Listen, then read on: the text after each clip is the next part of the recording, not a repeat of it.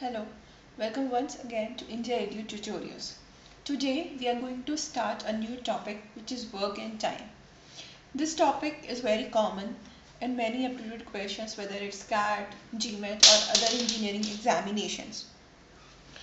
The basic funda that you need to understand while solving problems related to work and time is if a person say there are two persons A and B if A completes her work in X days and B completes her work in Y days and if we consider that the unit of doing that the unit of the work is 1 that is there is one work then in one day A will do 1 by X of work.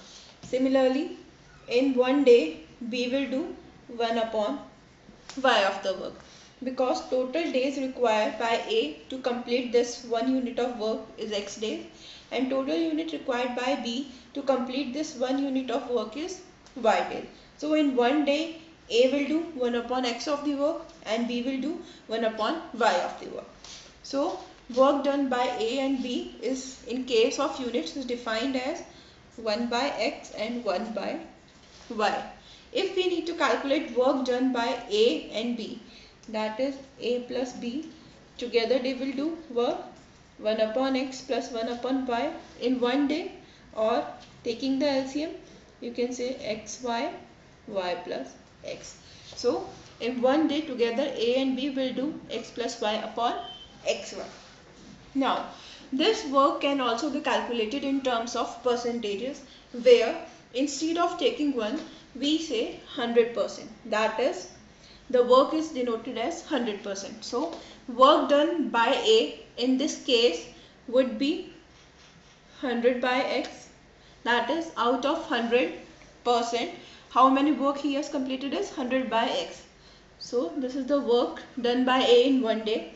Similarly work done by B in one day would be 100 upon Y and work done by A and B in one day will be 100 upon x plus 100 upon y. Now let's see more concepts related to work and time. So let's discuss some more concepts which are related to work and time. First one is concept of negative work. While solving the problems related to work and time, we generally come across the problems where negative work is also given. That is, say for example, if there are three persons A, B and C, A and B are doing some work. Say they are building a wall. But this third person C is destroying it. So total work done will be equal to work done by A plus work done by B minus work done by C. Say if work done by A is 1 upon x, work done by B in one day is 1 upon y and work done by C that is the work of destroying the wall is 1 by z. Then the total work done or the wall will be built as 1 upon x plus 1 upon y minus 1 upon z work equivalence method. Now, while solving the questions, this is this equation is generally used, which is work rate into time into work is equal to work done. Say if there are four men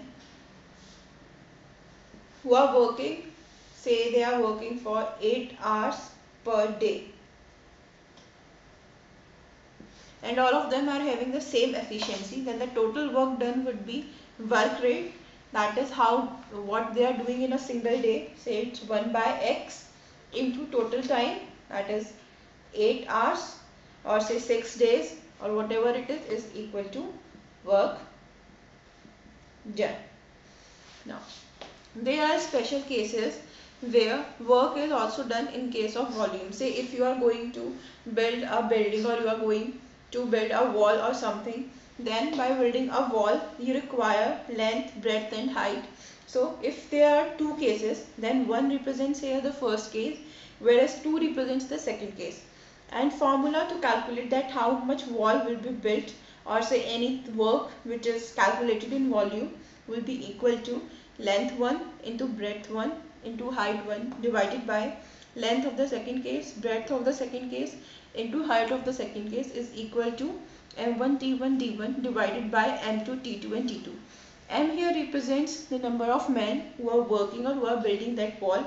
T represents the total time that they are denoting per day on daily basis whether they are denoting 8 hours 4 hours or 6 hours. And d here represents the number of days for which they are working. Say they are working for 8 hours per day till 10 days. And 2 here represents the second case. So using this equation you can solve problem related to this. Now the last concept which comes with work and time is the concept of efficiency. Now uh, while solving the questions we generally come that A is twice more efficient than B. This means that A can complete the work by B in half of the time. Say if B takes 4 hours to complete the work then A will take only 2 hours or we can also say that in the time that B is B is using to complete the work B can do A can do that work twice in that same amount of period. Now all these concepts will be more clear by some examples. The example says A can lay railway track between two given stations in 16 days and B can do the same job in 12 days.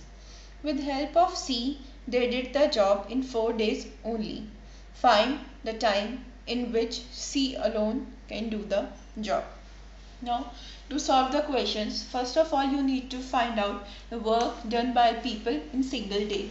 So, work done by A, he completes the work in total 16 days so in one day A will do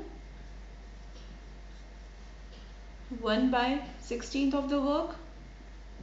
Similarly in one day B will do 1 by 12 of the work. But they all that is A, B and C together completed the work in 4 days. So A plus B plus C did the work in 4 days. Their one day work will be equal to A plus B plus C's one day work will be equal to 1 by 4. Now this work will be equal to A's one day work plus B's one day work plus C's one day work is equal to total work done by them. So a is one day. Work. Plus B is one day. Work. Plus C's one day. Work is equal to total one day work.